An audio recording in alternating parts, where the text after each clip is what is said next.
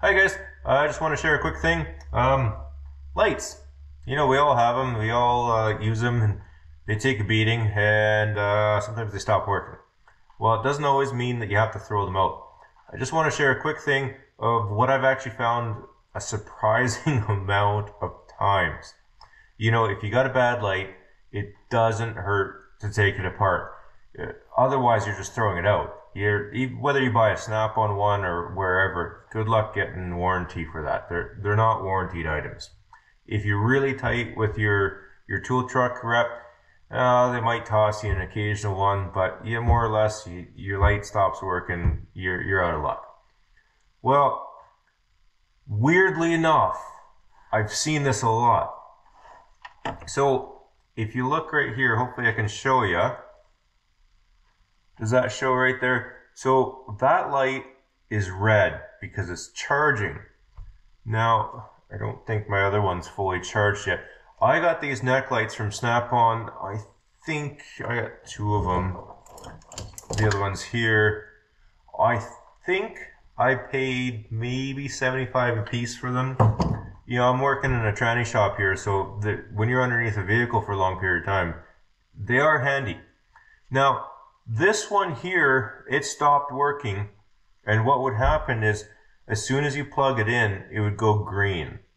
Even though there was times where I've had this thing unplugged for a long time, the battery would be long dead. You plug it in, it goes green. Well, that tells you that the charge port is not connected to the battery. Or more accurately than that, the battery is not connected to the charge controller. So as soon as you plug it in, the, the circuit board in here senses that, hey, the voltage is good. So it turns light green.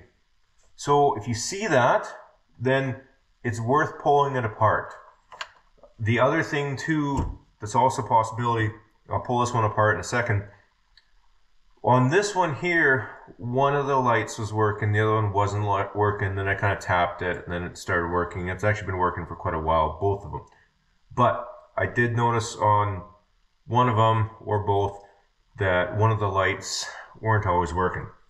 So again, these are things you can take apart. Now, you know, especially in this case when it's just not working at all, you got nothing to lose. So in this one right here, on this side here, there's these four little itty bitty uh, number one Phillips, there might even be zeros. Uh, I don't know how well you'll be able to see that. You just have to take my word for it. Um, eh, yeah, just little guys. So you take those four out, and then there's the the rubber protector. It's got its little little tabs. You just kind of peel away from the the plastic backing. Now, when that comes off, it exposes all the goodies inside. Now, can you see that very well? I don't know, maybe we'll get you a better light kind of behind.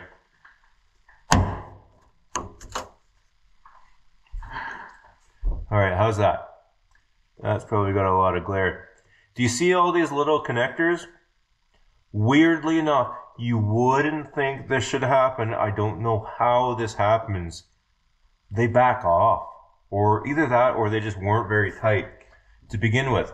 I've seen it so many times. And sure enough, that's what the problem with this guy was. I just pushed one and it moved. So you get something like a little pocket screwdriver and you just go on them gingerly, of course, and you push on it you push all the little connectors together and yeah so on this one two of them moved. And then now after them uh, moving like that I plug it in and wouldn't you know it it's charging. So uh, this should this should light. It's been plugged in for a bit. Hey look at that. That's a thing of beauty. So I'll put that back together in a second. Well actually maybe um, if you don't mind, well, we got an arrow. Presumably this only goes one way, so I don't know, can you see that? An arrow. Arrow goes to one way. Um, I don't know. But it looks like we got a bunch of tabs up here. So I'm sure it only can fit, I'm sure it'll physically only fit in one way. Seems like it wants to go in that way. So, uh, of course, every single light's a little different. You're going to have fun kind of getting used to them all. Oh, now the battery wants to fall out. Sometimes these things don't want to come apart. Sometimes you got to do a little hope and a prayer. Now, they say, supposedly, that snap on stuff, that if it says snap on, that it's made in the States and it's quote unquote quality. Now, some stuff is licensed snap on, like the Costco junk. You can get these really crappy lights. But supposedly, if it says snap on, supposedly that means, or supposed to mean that's, that's the good quality stuff. Not always the case, especially with lights. This is probably made in China. Uh, and it's probably rebranded. Supposedly, Bluepoint is all the rebranded stuff, but you know, who knows. So we'll just put all this stuff back in. And like you saw, try not to drop any of these. Of course, all these plastic, these little screws going into plastic, use hand tools, don't use power tools.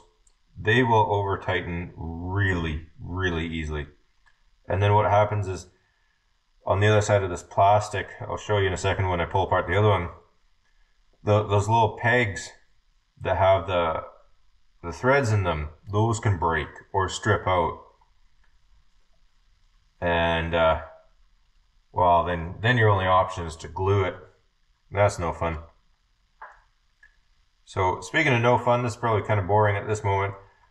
But basically what I want to do is I wanted to pull apart the other one and show you what I mean because the one light, the one side of it wasn't working that well. I'd have to kind of smack it, so I'd have to assume that one of those connectors is unplugged because it had a connector in the center, that would be the battery to the, the circuit board, and then one on either side, which is goes out to these little LED lights. So I'd have to assume that when I pull apart the other one, it's going to be, they're not going to be plugged in all the way. And I've encountered this on other lights, other snap-on lights, other non-snap-on lights. And it's weird. I don't know why. Maybe it's just a matter of robots putting these together and they err on the side of caution with those little connectors. But this thing is working. Uh, plug that in. It shows red, so it's charging. That's a good. And so this guy here, so we'll kind of do the same thing. We'll just quickly whip out these little screws.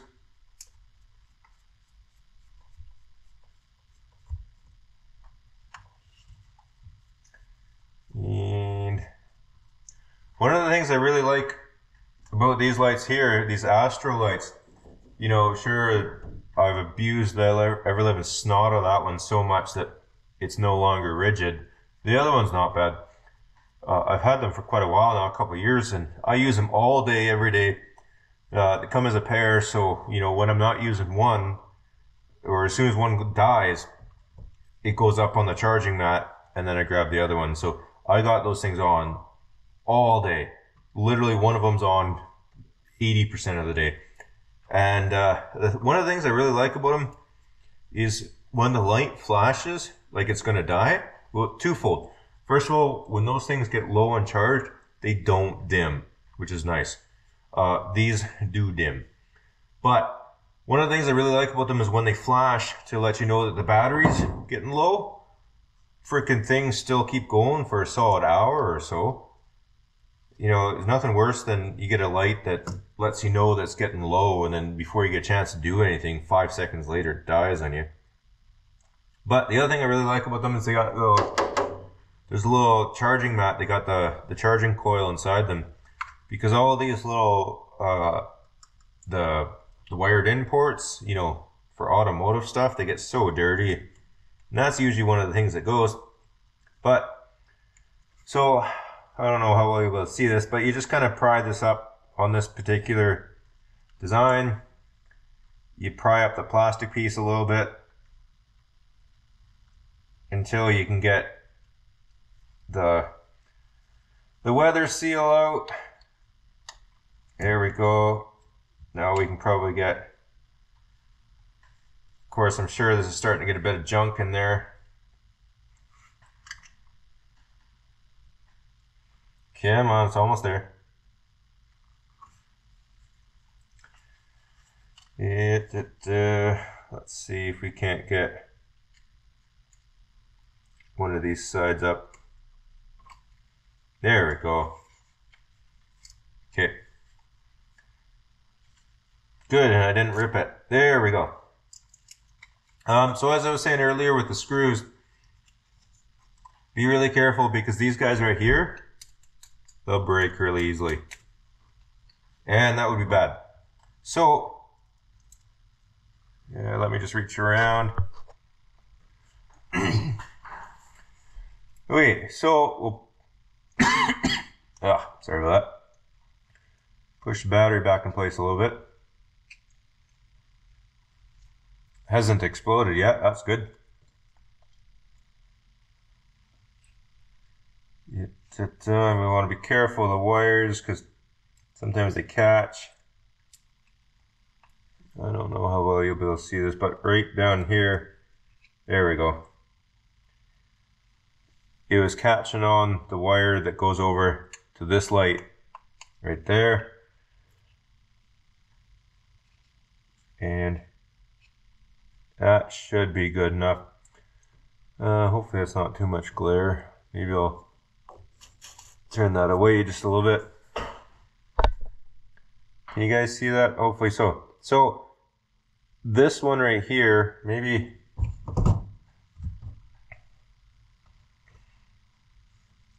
Let me see if I can get a picture on my phone. Alright. Well, maybe I can put one of those pictures up close. Uh, I don't know how well you'll to see that, but this this connector right here for this light sure looks high. So hopefully you can see that. I'm going to push. And that pushed in a little bit. Well, be careful, you don't want to knock off the solder joints, of course. We'll try and push this one a little bit, that didn't move. And this one right here, that moved an itty bitty bit. Um, anyways, that's all that was a matter for this one here. Let's make sure that uh, she still lights. Uh-oh. No, I done it. Or is that just dead? Oh no. Did I push you too hard?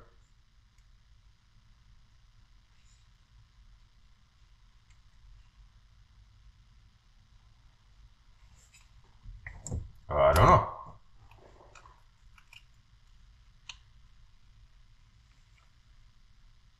Ah, there we go. Yeah, it's just a dead battery.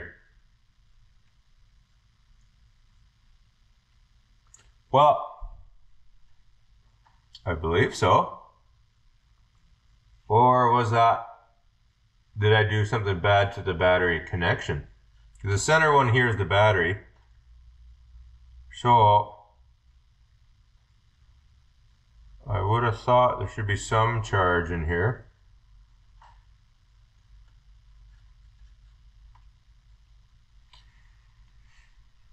Hmm. There we go. Okay, yeah. Perfect. So,